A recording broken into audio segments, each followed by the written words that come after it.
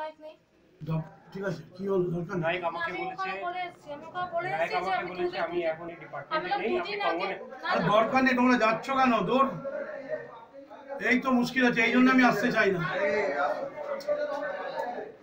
এই জন্য আমি আসতে চাই না। এই তর্ক করতে করতে কেউ গায়ে হাত দিয়ে দেবে প্রবলেম হয়ে যাবে।